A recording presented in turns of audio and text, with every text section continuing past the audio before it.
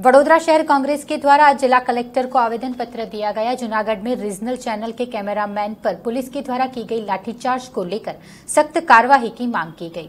जूनागढ़ में temple committee के चुनाव में गैररीति होने की खबर पर हकीकत जानने पहुँचे मीडिया कर्मी पर पुलिस ने लाठियाँ बरसाई।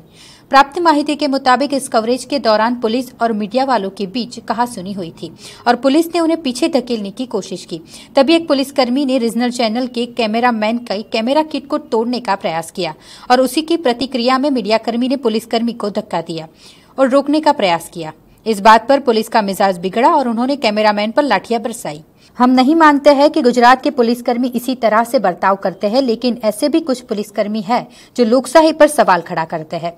अब चौथी जागीर कहलाते मीडिया कर्मी को अपने काम करने की स्वतंत्रता ना दी जाए, यह तो गुजरात में कभी हुआ नहीं है। इस मामले को विपक्ष ने बड़ा मुद्दा बनाया है और आज पुलिसकर्मी पर कानूनन कार्रवाई करने की मांग गुजरात सरकार से की है। ऐसे पुलिसकर्मी पर सरकार से कड़े रुख की मांग की गई। तरह से गुजरात में बार बार हो रहा है, पुलिस अत्याचार, पुलिस दमन। और बार बार कांग्रेस पार्टी बोल रही है कि भारतीय जनता पार्टी के शासन में लोकशाही खतरे में है।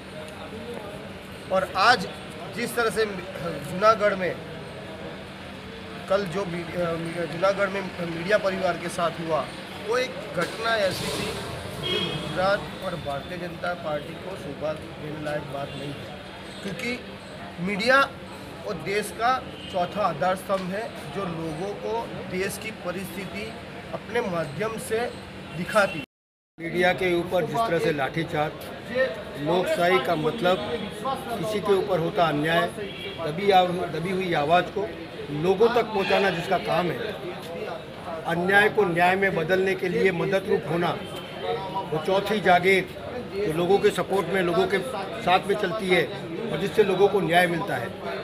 उसी न्याय दिलाने वालों को जब चुनाव के अंदर होती हुई गड़बड़ी को दिखाने के लिए मीडिया कर्मचारी, मीडिया के लोग गए तो उनके ऊपर पुलिस पुलिस ने दमन किया, लाठीचार्ज किया। जो करना चाहिए, लोगों की जान माल की हिफाजत, वो तो कर नहीं पा रहे हैं।